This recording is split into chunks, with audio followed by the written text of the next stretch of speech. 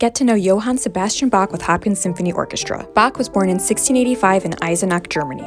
He came from a musical family. In fact, over 50 members of his family were professional musicians across 200 years.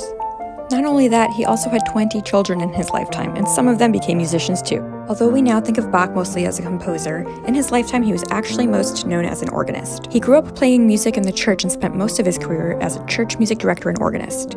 Bach was known at times to butt heads with his employers. In fact, a powerful man who once employed Bach had him thrown in jail to intimidate him from leaving his job.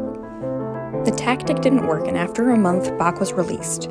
Johann was a prolific composer and wrote over 1,127 works in his lifetime. While we think of Bach as one of the most famous composers in history, he was not a widely known name for over a century after his death.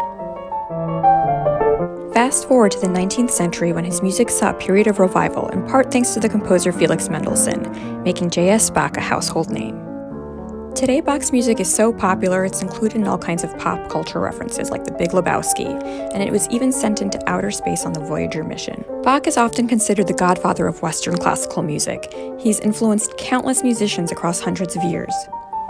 Thanks for tuning in and be sure to check out our Spotify playlist, Intro to Bach.